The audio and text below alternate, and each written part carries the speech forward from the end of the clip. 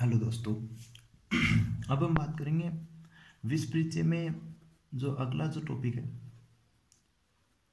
उसकी बात करेंगे। वह है विषाक्तता की तीव्रता पर प्रभाव कारक घटक influencing factor attributing to poison इसमें दो टॉपिकों की बात करेंगे। पहला रहेगा विष संकट। विष संकट। और दूसरा पॉइंट जो है, वो विष प्रभावकारक घटक कौन कौन से होते हैं, उनकी बात करेंगे। तो सबसे पहले विष संकट। तो विष संकट का मतलब क्या होता है कि जैसे एक ऐसी सिचुएशन विष ग्रहण करने के बाद उस, वो स्थिति जिसमें डेफिनेटली जो है डेथ हो जाए तो उस कंडीशन को विष संकट बोलते हैं। तो ये जनरली किन कारणों की वजह से होती है? इसमें कुछ रीजन्स होते हैं। जैसे सबसे पहला रीजन होता है विष संकट का, वह है विष की प्रकृति। विष की प्रकृति।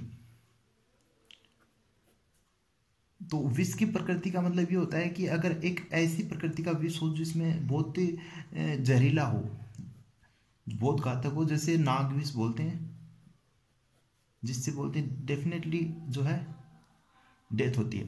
तो जो प्रकृति में जो ये विष संकट के लिए लिया जाता है, वो नाग विष होता है। दूसरा है काल। तो विष का वो काल, जिस समय में उसका प्रभाव सबसे अधिक होता है तो काल जो होता है, वो अलग प्रकार देगा जैसे वर्षा ऋतु में अधिक होता है। वर्षा ऋतु में जो विष का प्रभाव है, वो अधिक देखा जाता है। तो इस कंडीशन में विष संकट आता है। नेक्स्ट हम काल में और बात करेंगे अभी। अगला पॉइंट है, अन्न।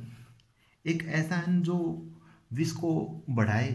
तो जैसे कोई, जैसे सिगरू वगैरह होते हैं सिगरू या फिर एक अगली बात करेंगे हम दोष की। तो दोष जो, वो दोष जो विष को बढ़ाते हैं, जैसे पित्त दोष होता है। पित्त दोष विष को बढ़ाता है।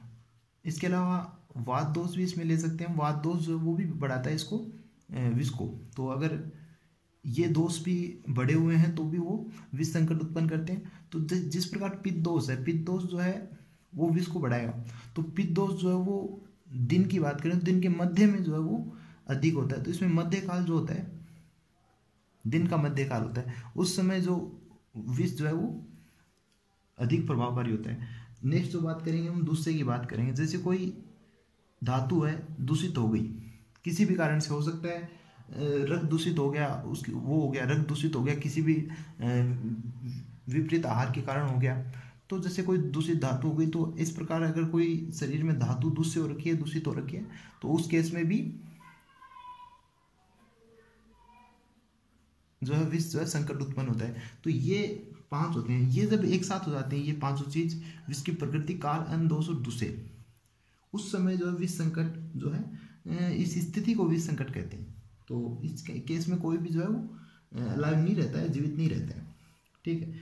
इसके बाद हम नेक्स्ट जो टॉपिक है, उसकी बात करेंगे। दूसरा टॉपिक है। दूसरा टॉपिक वो है विष प्रभाव का घटक। ऊपर बात करते थे विष प्रभाव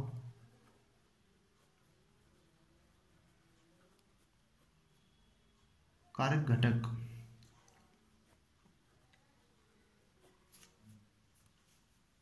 ठीक है तो इसमें क्या?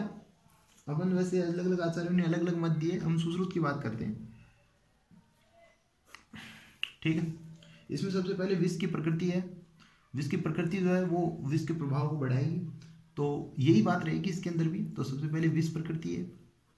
विष प्रकृति। विष प्रकृति। इसमें विष प्रकृति में क्या होता है? नाक का विष है। अपन ने पहली बात की, नाक का विष जो होता है वो विष के प्रभाव को बढ़ाता है। इसके बाद दूसरा पॉइंट रहेगा ऋतु कौन सी? तो ऋतु अपन ने पहले बात की। वर्षा ऋतु जो होती है, वो विष को इंक्रीज करती है, बढ़ाती है। तीसरा पॉइंट है, दोष कौन सा? तो दोष पित दोष है। दोष पित्त दोष। वाघभट ने जो है वो वाद दोष भी बताया। वाघभट के द्वारा वाद वाद दोष बताया गया इसके बाद विरुद्ध आहार, जैसे आहार आहार कौन कौन से होते हैं? सबसे पहले विरुद्ध आहार विरुद्ध आहार। विरुद्ध आहार से जनरली अगर हमें जनरल समझे तो मतलब फ़ूड पॉइजनिंग वगैरह केस आते हैं। दूसरा है सुरा। तिल तिल भी जो है वो विष के प्रभाव को बढ़ाता है और कुलत ठीक है, ये आपको एज ए टेबल बनानी है, जैसे आप यहाँ से ऐसे करके जो टेबल बना सकते हो। इसके बाद नेक्स्ट पॉइंट अपन विहार की लेंगे। विहार। विहार मतलब होता है अपने दिन का जो दिनचर्या है वो किस प्रकार से डिस्टर्ब करती है? एक दिवा सोपन दिन में सोने से। अगर विष किसी ने ग्रहण कर रखा और वो दिन में सो रहा है तो उससे उसका प्रभाव बढ़ेगा। व्यायाम करने से, क्रोध करने से और आतप, धूप के, धूप में जाने से।